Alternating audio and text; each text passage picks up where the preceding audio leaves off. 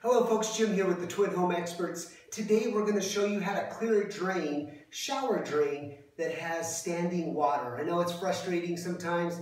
You try a plunger um, and that doesn't work. You try Drano, that doesn't work.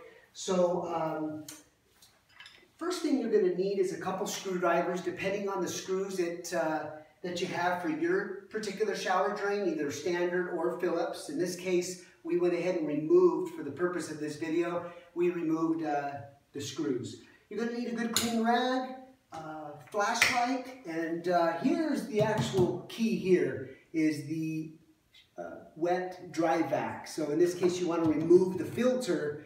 Uh, you just want to make sure that it's removed so you can extract any water that we're about to do. So uh, let me show you exactly what the cause of shower drain stoppages are. So go ahead and come on in closer. You want to remove uh, the, the drain here. And as you can see here, a lot of this is hair, uh, soap.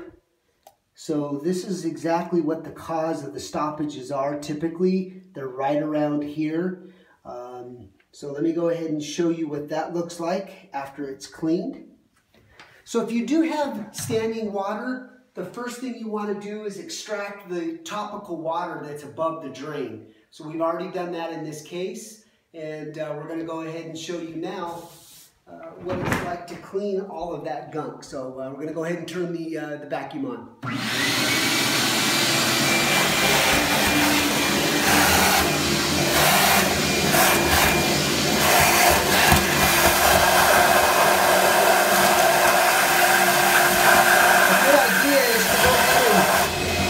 The vacuum pretty hard up against the inside of that pipe.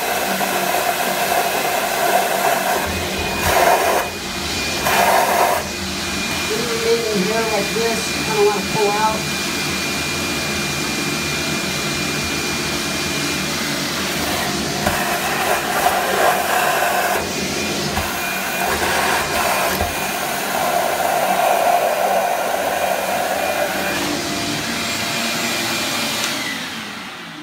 Done that, you want to go ahead and test the shower just to make sure you got everything.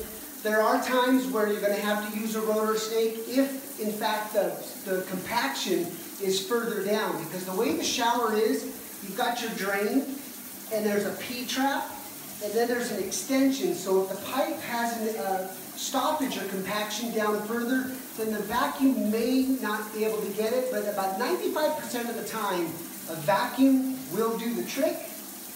And as you can see here, it worked. Well, folks, thanks for watching.